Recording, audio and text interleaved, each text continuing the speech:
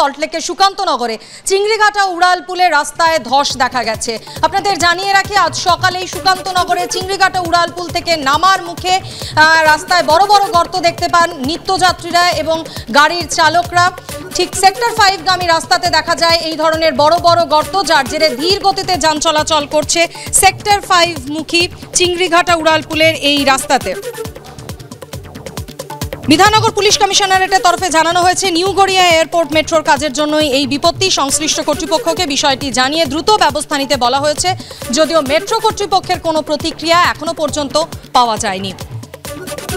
যে ছবি আপনারা দেখতে পাচ্ছেন চিংড়িঘাটায়, সল্ট লেকে সুকান্তনগরে চিংড়িঘাটা উড়ালপুলের রাস্তায় ধস এবং সেক্টর ফাইভ গামী রাস্তার মুখে বড় বড় এই ধরনের গর্ত দেখা যায়। বিস্তারিত প্রতিবেদন তুলে ধরেছেন আমাদের প্রতিনিধি ব্রতদীপ ভট্টাচার্য। বিধাননগর ট্রাফিকের কর্মীরা ঘটনাস্থলে রয়েছেন। একটু জানতে চাইব কি দেখলেন আপনারা এখানে? আমরা খবর পেলাম যে এখানে একটা ধস নেমেছে ছোট্টখাটো ধস নেমেতে খবর পাওয়ার পর আমরা এখানে এসে এসে দেখলাম হ্যাঁ ছোট ছোট মানে গর্ত মতো হয়ে গেছে ধস নামছে। যার ফলে গাড়ি আমরা স্লো স্লোভাবে গাড়িগুলো ছাড়ছিলাম। গাড়ি এমনি স্মুথলিভাবে যাচ্ছে কিন্তু এই ধসটা ইমিডিয়েট এখানে রিপেয়ার করা প্রয়োজন আছে। আপনারা যোগাযোগ করেছেন কারোর সঙ্গে? আমরা অলরেডি গ্যামনকে জানিয়েছি যাতে গ্যামন মানে এই আমাদের মেট্রোর যে কাজ হচ্ছে এদের জন্যই তো হয়েছে এটা। ওনাদেরকে জানিয়েছে ওনারা যত সত্তর পারেন বলেছেন ঠিক করে দেবেন আর কি।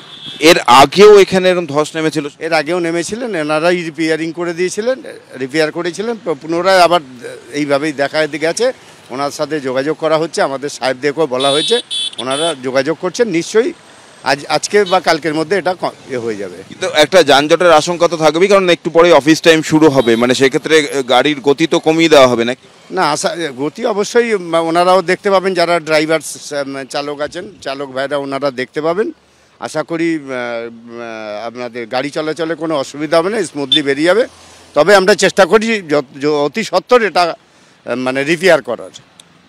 বিধাননগর কমিশনারের যারা পুলিশ কর্মী, তাদের থেকে জানা যাচ্ছে যে আগেও কিন্তু চিংড়িঘাটায় রোয়ালপুরের এই অংশে ধস নেমেছিল এবং সেই সময় মেট্রোর যারা কাজ করছেন, সেই সংস্থাকে জানানো হয়। তারা পরবর্তীতে মেরামতের কাজ করেছিলেন। কংক্রিট দিয়ে তার উপর পিচ করে দেওয়া হয়েছিল। কিন্তু তারপরেও কিন্তু বিপদ আটকানো যায়নি। ফের আবার এই জায়গাতেই ধস দেখা দিয়েছে এবং এইবার কিন্তু ধস অনেকটাই বড় আকার নিয়েছে। তারা যেটা জানাচ্ছেন পুলিশ কর্মীরা, সে মেট্রো কর্তৃপক্ষকে জানানো হয়েছে বিষয়টা এবং তারা এসে এটা মেরামত করবেন। কিন্তু স্বাভাবিকভাবেই একেবারে অফিস টাইমে এ ধরনের ঘটনা ঘটায়। যান চলাচলের উপর এর- প্রভাব পড়বেই, কারণ যান চলাচলের গতি এখানে নিয়ন্ত্রিত করা হচ্ছে। এখন কখন এই বিপদ আটকানো যায়? কীভাবে এর স্থায়ী ব্যবস্থা করা যায়? কেএমডিএ কর্তৃপক্ষই বা কি করে কারণ এই উড়াল উড়ালপুলটির রক্ষণাবেক্ষণের দায়িত্ব কেএমডিএর এবং মেট্রো আর কেএমডিএ মিলে এই ধসের কি ব্যবস্থা নেয় সেটাই দেখার। ক্যামেরা দীপ্তেন্দু চক্রবর্তীর সঙ্গে ব্রতদীপ ভট্টাচার্য এবিপি আনন্দ, কলকাতা।